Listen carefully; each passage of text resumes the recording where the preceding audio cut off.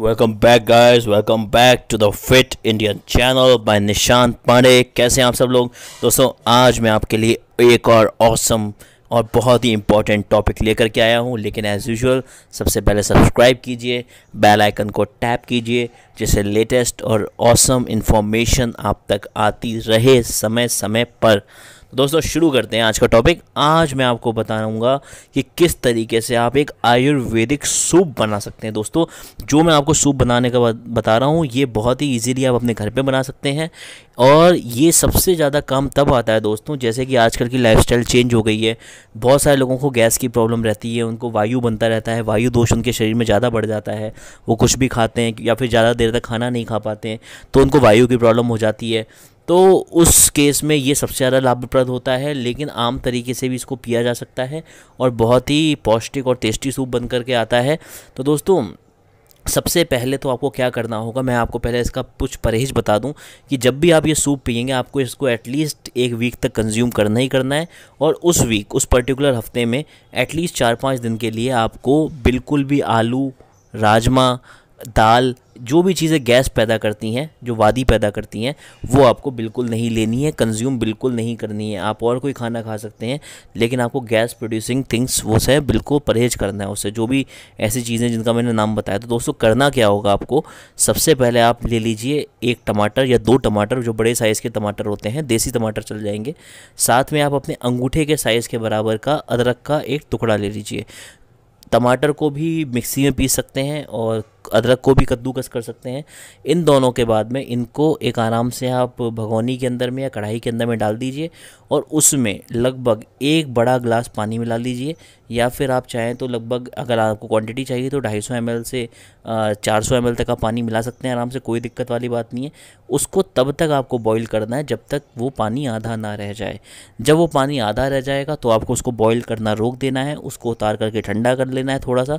उसमें आपको सबसे इंपॉर्टेंट चीज़ मिलानी है, गाय का एक चम्मच घी। अगर गाय का घी अवेलेबल नहीं है तो आप उसकी जगह देसी घी का भी प्रयोग कर सकते हैं, मगर इस स्टेप को आप स्किप नहीं करेंगे। ये आपको करना ही करना है। क्योंकि दोस्तों, आपको एक बहुत बड़ी बात बताता हूँ कि जितना आप अपनी बॉडी को लुब्रिकेट करेंगे ना लुब्रिकेट मतलब ऑयलिंग करेंगे बॉडी की, जैसे आप कानों में तेल डालेंगे हाथों में तेल लगाएँगे, पैरों में मालिश करेंगे, उतनी वायु आपकी कंट्रोल होती चली जाएगी। तो ये लुब्रिकेशन के लिए बहुत इंपॉर्टेंट होता है। तो आपको ये काम करना ही करना है। तो दोस्तों, ये आप काम कर सकते हैं। प्लस आपको इसमें क्या करना है? आपको थोड़ी सी काली मिर्च मिलानी है। जिन लोगों को काली मिर्च नहीं मिलानी है, वो उसकी जगह भुना हुआ जीरा मिला सकते हैं। और इसमें सेंधा नमक या फिर हिमालयन रॉक सॉल्ट मिलाना है आपको। तो दोस्तों, इसको आपको इस तरीके से लेकर के एटलीस्ट एक हफ़्ते तक कंज्यूम करना है। करना है कब है? सुबह कर सकते हैं, शाम को कर सकते हैं। लेकिन खाली पेट करना है।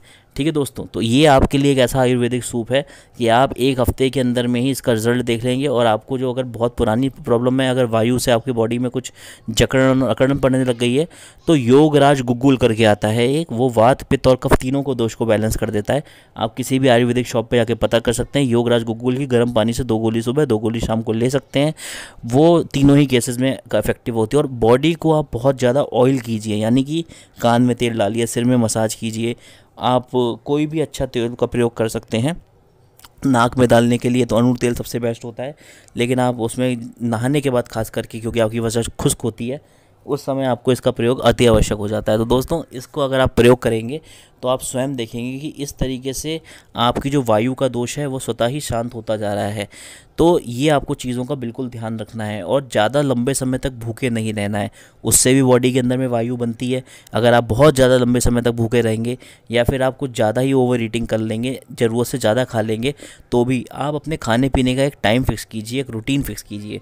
अगर आपने मेरा अभी तक पुराना वाला वीडियो नहीं देखा है बायो क्लॉक के ऊपर में तो सबसे पहले तो आप जाके उसे देखिए, उसके बाद आप ये एक्सपेरिमेंट कीजिएगा, क्योंकि हो सकता है आप अपनी बायो क्लॉक को सही करें, भले ही आप किसी भी तरीके से प्राणायाम से करें, अनुलोम विलोम से करें, या फिर एक और भी तरीका होता है उसको करने का, एक कुंजल कला आती है, उसको आप देख सकते हैं कैसे की जाती है।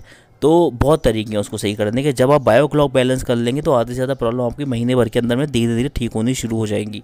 दोस्तों, इसको आप अपना करके देखिएगा और ये जो आयुर्वेदिक सूप है, इसके बाद में आप इसे ओकेजनली ले सकते हैं, कभी आपको ज़रूरत पड़े, वरना इसकी लेने की कोई ज़रूरत नहीं है। और जैसा कि मैंने बताया कि मैक्सिमम आप ऑयल का प्रयोग करें और तेल बार बार बदले नहीं। अगर सरसों का करते हैं तो सरसों का करें, नारियल का करते हैं तो नारियल करें और गाय का घी मैं तो बोलता हूँ सबसे बेस्ट होता है। ठीक है दोस्तों तो उसका प्रयोग करना शुरू कीजिए और आप इसको ट्राई करके देखिए और आप फिर खुद बताइएगा कि आपको कितना ज़्यादा इफ़ेक्ट मिला या किसी को आपने किया तो कितना इफ़ेक्ट उसको मिला। तो दोस्तों, बिल्कुल जल्दी से बेल आइकन को टैप कर दीजिए। अगर आपने सब्सक्राइब किया और अगर सब्सक्राइब नहीं किया है तो प्लीज़ सब्सक्राइब बटन को हिट कर दीजिए, जिससे लेटेस्ट इन्फॉर्मेशन आप तक आते रहें। उसके बाद बेल आइकन को टैप कीजिएगा। जुड़े रहिए दोस्तों हमारे साथ में और साथ में कहते रहिए, जय सिया राम, जय हनुमान।